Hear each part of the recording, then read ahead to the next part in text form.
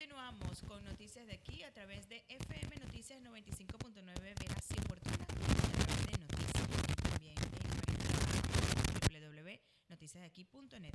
La parte final de esta entrevista con Guillermo Martínez, candidato del Partido Socialista de Venezuela y del Gran Pueblo Patriótico a la alcaldía del municipio Simón Bolívar, capital del estado Anzuategui es importante estas, estas elecciones del 8 de diciembre porque se va a jugar muchas cosas allí, ¿no? Este, medir fuerzas tal vez, que es una eh, propuesta que ha hecho la oposición, de medir fuerzas entre el oficialismo y ellos, de modo de demostrar si llegasen a tener la mayoría de las alcaldías, la oposición, decir, este, ciertamente hubo fraude, Maduro es un ilegítimo y continuar con este con este escenario. No por el contrario, si la mayoría de las alcaldías y votos le resultan favorecedoras al, al partido de gobierno, entonces dirán, bueno, está ratificado Nicolás Maduro que no hubo trampa.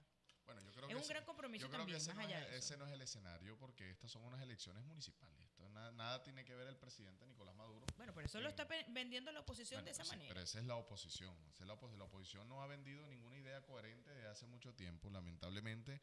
Y esto es una autocrítica. Nosotros no le hemos podido tocar el alma y el corazón a cierto sector del ciudadano de AP de oposición para eh, sacarlo de, de, esa locura a la cual intentan llevar algunos dirigentes de oposición. Yo siento un distanciamiento grande entre la dirigencia de oposición y el ciudadano de a pie de oposición. Son dos visiones distintas. La dirigencia de oposición en,